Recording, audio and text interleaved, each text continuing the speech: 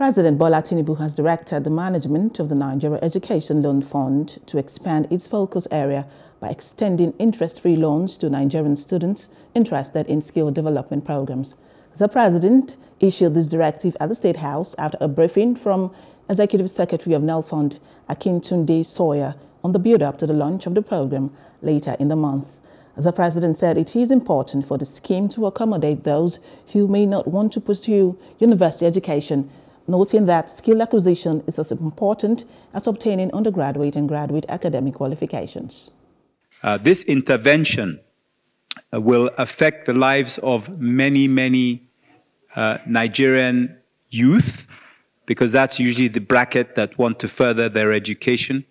It will impact the lives of many, many Nigerian families, because the onus to pay for education tends to fall on parents, on families. Well, this act is going to enable us to intervene and support families, particularly those at the needy end. Uh, this act will affect the way society in itself operates. This is a great opportunity for that applicant, and they are the ones at the, at the center of all of this. The essence of education tax is to consolidate and restore education integrity and uh, quality in Nigeria.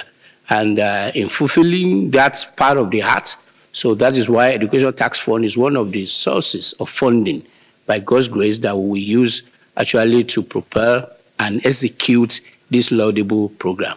Thank you very much. Hello. Hope you enjoyed the news. Please do subscribe to our YouTube channel and don't forget to hit the notification button so you get notified about fresh news updates.